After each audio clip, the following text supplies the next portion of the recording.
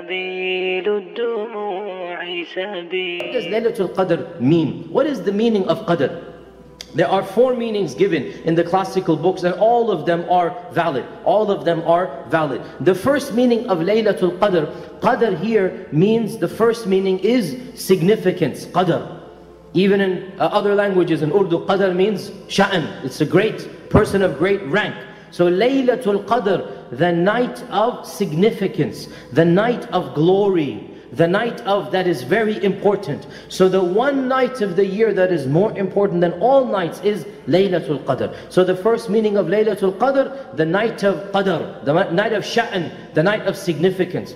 The second meaning of Laylatul Qadr is the same meaning that it is a night of significance, but the one who worships Allah will be the one who will become significant. So Laylatul Qadr, the night of significance, but now it doesn't apply to the night in the second meaning. It applies to the one who worships Allah. You want to become significant in the eyes of Allah. You want to have Qadr in the eyes of Allah. You want to raise your ranks, then on this night, worship Allah. And you will be of those who have qadr. So laylatul qadr the night to get an upgrade.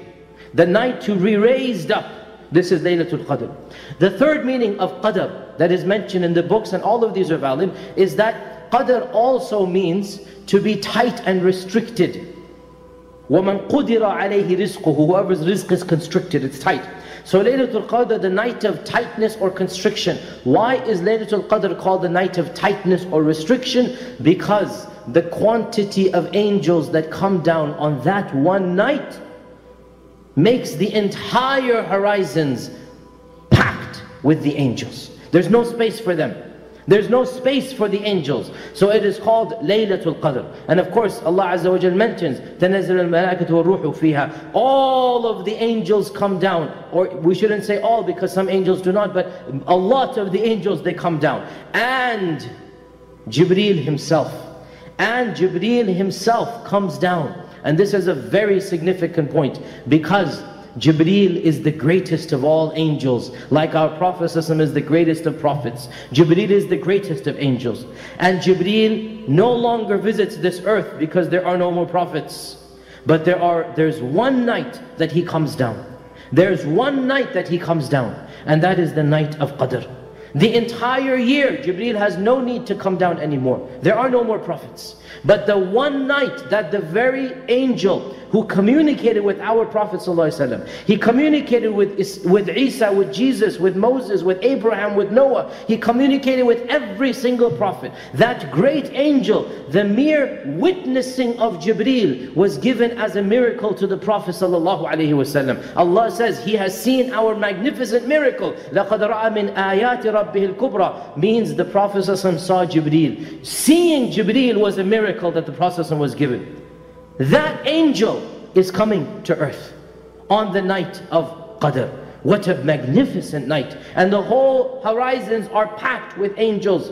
تنزل الملائكة والروح فيها بإذن ربهم من كل أمر سلام هي حتى مطلع الفجر The whole night the angels are coming down and so Laylatul Qadr the night of no space the night of jam-packed angels. That's what Qadr means. And then the fourth position or opinion of Qadr is the most commonly understood one and this is the most obvious one as well that qadr here is the sixth pillar of iman. We believe in qadr khayrihi wa sharrihi predestination. Laylatul qadr the night of predestination. Why? Because on this particular night of laylatul qadr allah subhanahu wa ta'ala announces the qadr to the angels. So when the qadr is announced we want to be in dua. We want to be in sajda. We want to be in prayer because we want to have the best year that's going to come up. So we prayed to Allah on that night to give us the best of this world and the next. And that is why it is called Laylatul Qadr.